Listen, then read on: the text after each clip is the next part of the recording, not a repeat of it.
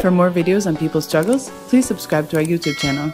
Towards the end of February, a meeting of the Peace, Security and Cooperation Framework for the Democratic Republic of the Congo was held in Kinshasa. The framework has been signed by 13 countries and is a regional initiative to address the violence and crisis in the DRC. However, from the very beginning, the framework has been riddled with issues of justice and accountability that have never been properly addressed. Kambale Musavuli of the Center for Research on the Congo talks about some of these issues. The DRC Peace, Security and Cooperation Framework, uh, usually called in French Accord Cadre, is an agreement that was signed in uh, Addis Ababa uh, between about uh, 13 uh, African head of states uh, to bring about peace, security, and cooperation um, in DRC. But this comes from a very particular context. In 2012, we had a rebellion in the Congo of a rebel group called the M23, um, which is a Rwandan backed rebel group uh, that destabilized the DRC almost the entire year, uh, caused a lot of uh, regional um, conflicts, and that the nations implicated um, started getting engaged to say after a few decades of war in DRC, there need to be something um, actually taking place to bring about peace. So the agreement, right, is about African nations, but there was a militia group. So for listeners, for viewers uh, watching this, that should understand that the conflict in the Congo is not just rebel militias uh, fighting amongst themselves to bring about democracy or whatever the narrative they may push. Uh, it clear, clearly shows that it's a regional problem. Uh, so the, in the framework, uh, there were a lot of uh, obligations for DRC, a lot of obligation around opening up political space, uh, around democracy, and so on. the DDR program for the demobilizing rebels and so on. But there was no concrete obligation for Congo's neighbors, particularly Rwanda and Uganda. That's one of the biggest criticism of the framework, that uh, Rwanda and Uganda, who have invaded the Congo twice, in 96 and 98, and continue to support proxy rebel militias, had nothing actually in the agreement holding them accountable or creating obligations for the recidivism of them uh, conti- uh, continuously supporting rebel proxy militia. The other criticism of this framework is that it puts Congo's mineral resources under control of a panel, right? That the Congo pretty much lost its sovereignty in, um, in this framework. And uh, the last, uh, even though it's uh, kind of mentioned it on the first point, is the question of justice. Um, we strongly believe that in order for peace in the Congo to take place, there needs to be justice. Uh, there is no fundamental clause or obligation in that agreement that calls for justice uh, specifically for what Congo's neighbors have done. The continuous invasions of the DRC, the continuous support of rebel militias, the crimes that the rebels are committing on the ground.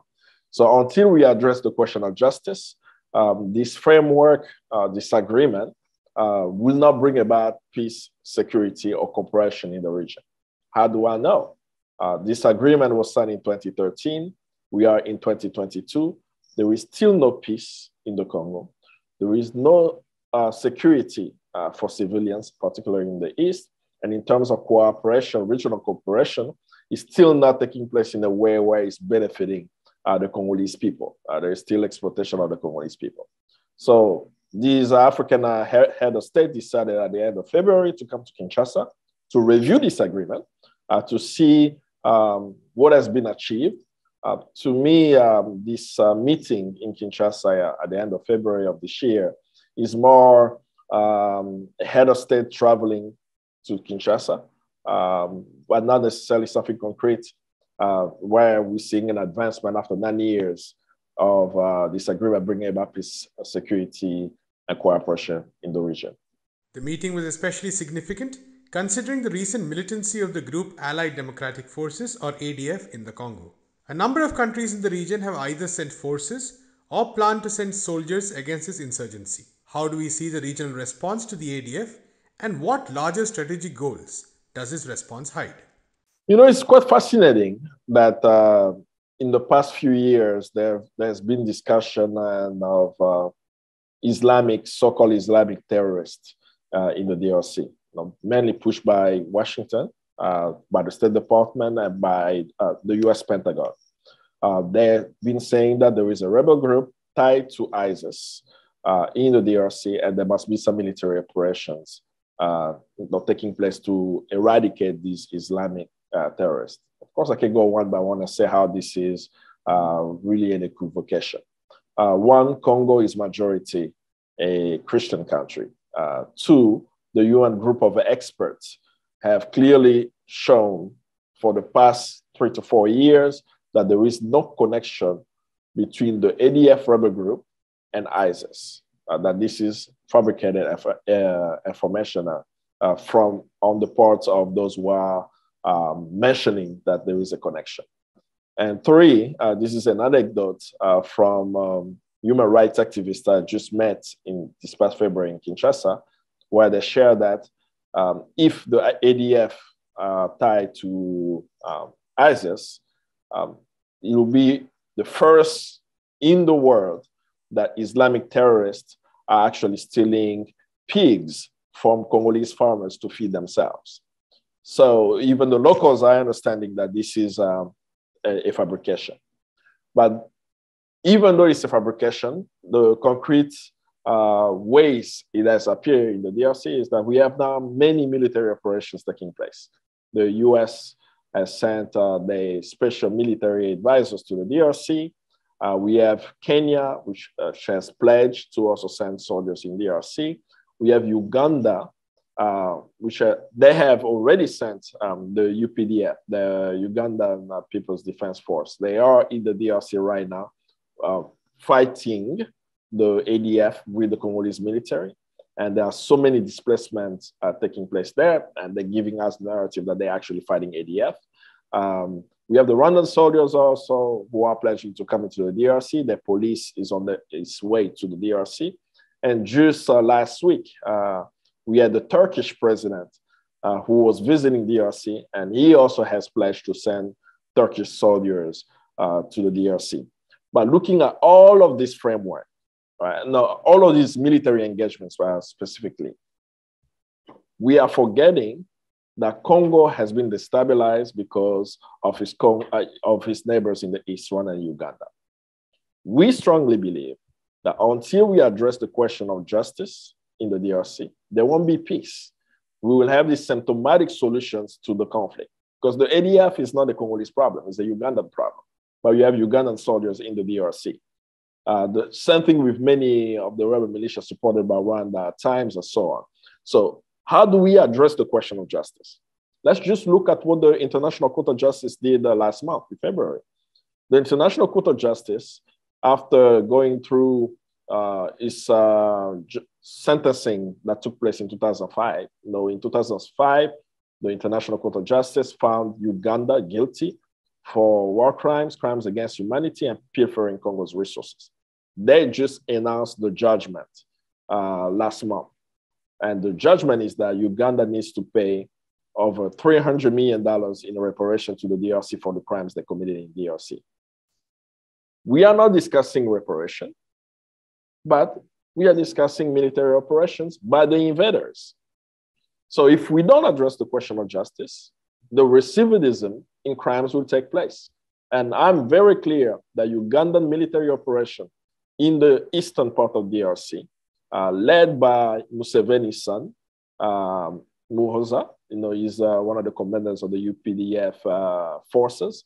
Uh, that their operations in DRC has nothing to do with ADF. It has everything to do with the oil reserve that's been found in the Beni region, all the way to Lake Albert in the DRC. And this is estimated at over 2 billion barrels of oil that's been discovered. And most of this oil is on the DRC side.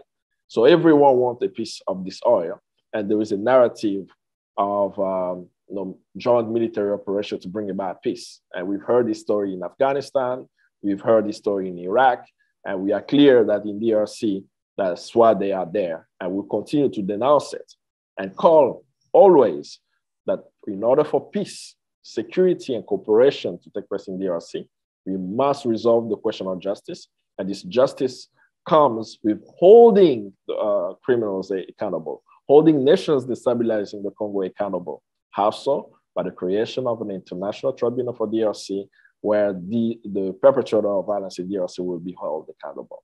How have successive governments in the DRC responded to such regional initiatives? Have there been attempts to stand up for the country's sovereignty, or have they mainly functioned as clients of powerful players? We, we have to understand the conflict in the Congo in, in its proper context. Uh, in 1996, two of US allies, Rwanda and Uganda, invaded the Congo, continued to support proxy rebel militias, and pretty much since that time to today, Congo has been under tutelage. Uh, Congo's politics is decided on in the re- hegemonic regional bloc um, of Central Africa. It's decided in Kampala and Kigali. Uh, on the international level, it's decided in Washington and uh, London. So there is little room uh, to the Congolese people at this time to be able to have a say in the decision-making process uh, in the country. Let's just look at the last election. In 2018, there was a rigged election. Um, the Congolese people were clear around the result, but a regional bloc came to support uh, results that, that do not represent the Congolese people. What actually unfolded? You had South Africa, you had Egypt and Kenya, who made sure that the former president of the DRC, Joseph Kabila, and the one who was declared the winner of the election, it, uh, Felix Tshisekedi, signed a secret deal in order for a so-called peaceful transfer of power to, uh, to take place in the DRC.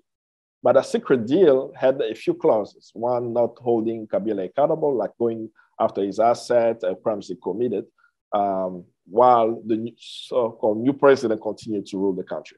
So when you see that and you know the interests of the people, you are clear that Congolese people don't have a say in the, the future of the country. And the succession of uh, regimes since 1996 have been um, unable to do that. Um, has there been resistance from the Congolese people? Of course, there have been. Throughout this entire process from 96 to today, uh, Congolese have resisted. This is also why we have a very high death toll. You know, over 6 million Congolese have died in the conflict in DRC. They didn't die just watching someone coming to kill them, they resisted. Um, and we also had uh, young Congolese. Uh, many of them lost their life. There was Tshimanga who stood up uh, for a free and fair election and was shot and killed inside of a church. Um, is uh, Luc Nkulula, another young uh, person who was unfortunately um, burned to death uh, in, in his house. He was one of the young Congolese also fighting for a free and liberated Congo. So there have been many young Congolese who have lost their lives, many others who've been arrested, tortured, jailed um, to see that free Congo. Uh, the challenge that they face is while they are organizing and fighting on the inside, uh, the, the, strength of building a Pan African or an internationalist network for support on the outside has not been as strong as it should be. And why is it important? Uh, that model is what brought an end to the apartheid regime in South Africa. An inside strategy and outside strategy to end the exploitation of South Africans, to end the apartheid regime. In the DRC, the same is needed. While Congolese are fighting on the inside, they need allies on the outside to put pressure on negative forces against the Congolese. The mining corporations, uh, Congo's neighbors, Washington and London, all these international conglomerates who want to get access to Congo's cobalt, water, and many other resources that we have. When that happens, uh, it gives them a chance to determine their affairs. But at least for the foreseeable future, uh, the battle of the Congolese is continuing to see a free and liberated Congo. It is difficult, but they are uh, determined to achieve the ideals of Patrice Lumumba. They are determined to see a free and liberated Congo because it's not just for them. As they succeed to do so, it will allow Africa to reach the next level, to develop the African continent, and to make the continent much more uh, of a place of prosperity and peace, stability.